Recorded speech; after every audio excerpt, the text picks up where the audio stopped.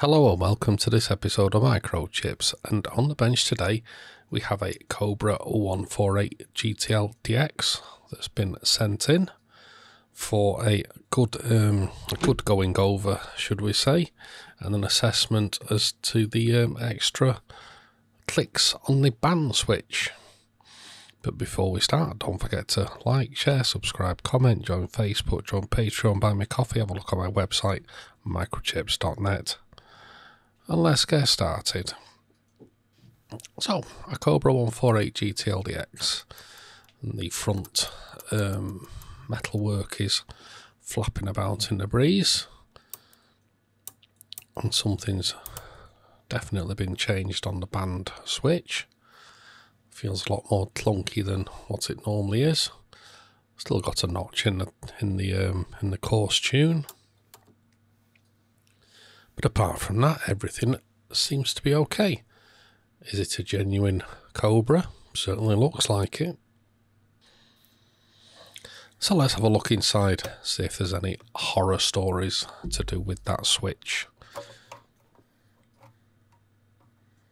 So we are greeted with a modification board. Not seen this style of mod board before, but you know, I'm sure there was many around. But looking at it, everything seems fine. Looks like there's a UK offset um, trimmer there. This mod board seems to be partly flapping about in the breeze. It doesn't look too bad. Everything else looks fine. Well, at least whoever's done this hasn't cut all the tracks underneath. And who knows what that chip is? I don't think it's a PIC chip. It must be an EEPROM of some variety. But anyway, at least there's possibly going to be no massive amount of cut tracks. So that's something to be thankful for. And we've got some service stickers. Anybody recognises those? Let me know. But it seems to have been to the same person three times by the looks of it. And that's got a date code of 1986 by Simon. Okay, well, that UK40 trimmer looks okay, so we'll leave it alone. So, taking off the circuit board side, and there is obviously some modifications gone there, some diodes on the adders, something on the back of the PLL, and a wire connecting to the 5kc pin, which goes off to the channel 9 switch. I'm not sure how they've implemented that when there's no cut tracks, but but having a look round, there's a little bit of a burn mark at that, that point in the top. We'll have to have a look at that. But apart from that, everything everything seems to be okay. So let's fire it up and have a look. Okay, super low band, that's fine. No variable power mod. And next switch, got low band, mid band, high band, and UK40. Okay, not too shabby. That's absolutely fine. We've got a nice power output on all the bands. Let's flick that 5kc switch and of course it sends it into into somewhere else. I really don't know why they've done this modification. I know it puts it on 5kcs but it doesn't drop it onto 5kc that the channel you're on. But it just it does drop it down onto 25 megahertz, which is interesting. So that's the um, 12 metre band, I believe. So maybe it's useful for 12 metres. Who knows? But anyway, everything else looks just fine. You may have noticed there's no illumination behind the signal meter. That's another reported fault. Nothing on the ANL and tone switches, no 10kc jumps or anything. Tune still works as to be expected. So it's fine. Just having a look at the receive, and it is receiving. The meter's working on receive. And we have transmit audio. Okay. Well, radio's in working condition. Just needs a good um, going over. So what I've got planned for this radio is we want to do a full recap on it. And as I was taking the capacitors out, I noticed this. So that will kind of correlate with the heat mark we had underneath. And you can see there's a nice split down the side of the diode. So obviously this has been reverse polarity sometime. Now the question is, is this still a diode or has it left this world? So let's test it on the meter and have a look. So we're on diode test and it still thinks it's a diode. For how long it would have lasted under another reverse polarity, who knows? But it still thinks it's a diode. But we're going to replace it anyway, and we're going to put an extra one across the power. So I've started the recap, and as I was taking the can off there, there's a couple of capacitors across the back of the VCO coil. So maybe that's for broadbanding, who knows? So there's a nice new diode in its place. We'll finally fit the final capacitor into the board when we can finally get it in. As you can see, we've done the regulator upgrades as well. So it's had a full going over. So there's all our capacitors that we've taken out. And there's our nicely recapped unit, all looking very good. And I normally don't do recaps, but I wanted to try it again. See if there is any faulty capacitors. So, not too bad, looking good inside. So I've tested all the capacitors and I've only found two that are out of out of tolerance. So there's a 100 mic 10 volt. And you can see it's it's low, but it's still still works. But it's well out. And there's a 4.7 mic there. That's gone that's gone high. Now we all know these 10 volt caps like to short for the fun of it. So, yeah, there is method in doing the recap, and there's also method to, to leaving it. So, as normal, just going to use the thermal imaging meter on first switch on to see if anything's getting overly hot immediately.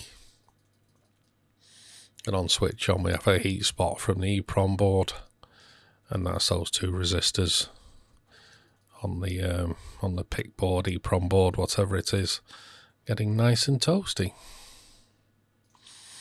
But everywhere else is getting everywhere else is staying nice and cool. There's a heat spot around the um, the eight volt regulator, which is absolutely fine. There's a heat spot around those components in the middle that always seems to get warm. So that's fine.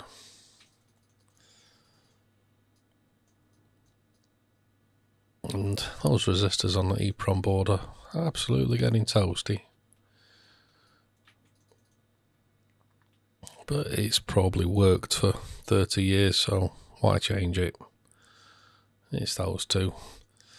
So yeah, nothing getting hot. We'll leave it at that. So I'm just going to transmit and we'll watch that regulator get very toasty very quickly. As you can see on FM transmission, this thing gets warm very quick. But it's only to be expected. We've got a nice upgrade on it.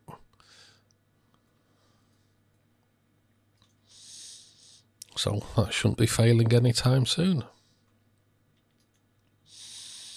Yep, all good. Everything's getting nicely warm. So we'll start doing some alignment. So we're on TP3, we're on channel 19 midband, and we need to set those to 490, 4875 and 4925. So there's 490, 4925 and 4875. We'll just readjust that end coil and there it is. These things do like to move when they're warm. So the next issue to address is the bulb out in the meter. So I'm not going to put an LED in, I'm just going to replace it with a suitable grain of wheat bulb. So we'll cut off the old bulb and we will join on our new bulb onto the end of those wires. So there's our bulb. Just about just about the same size as the old one. We've put a little bit of shrink sleeve in onto the wires. We'll quickly and gently solder those up and then we will put some shrink sleeving to protect the um, to protect the wires and insulate the wires. This is the time when you need three hands, but we've got it. We'll put the put the shrink sleeve in over the leads and give it a little warm up with a little bit of fire. And there we go. Very nice. Pop the bulb back into the meter.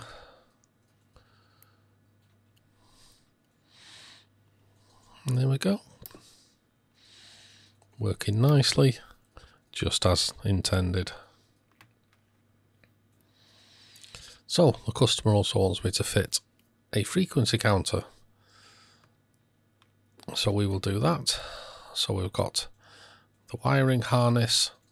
So we need to attach the USB LSB power and obviously the VCO signal on TP3. So there it is installed. We'll put a cable uh, cable tie on the inside for a bit of strain relief. That should do nicely. So now to address this front, as you can see, all the glue has turned to turned to dust basically. So we'll get off what we can with a bit of ISO.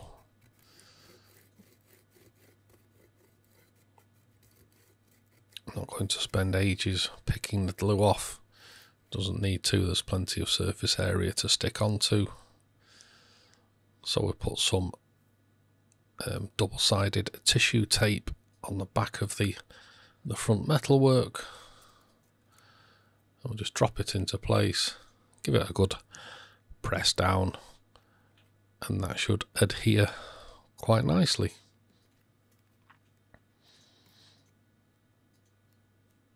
So no more flapping about in the breeze.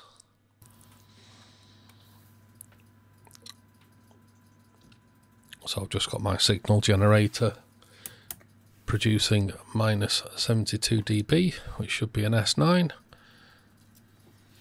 So we'll adjust the signal meter for an S9.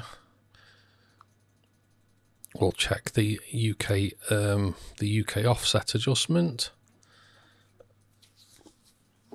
That's good enough. We'll finish the job off with some nice new shiny, shiny stainless steel screws. And there we have it. There's our Cobra 148 GTLDX. Finally done with its frequency counter. It's had a good, good, um, a good check over. Everything is aligned quite nicely. It's as on frequency as you can get one of these.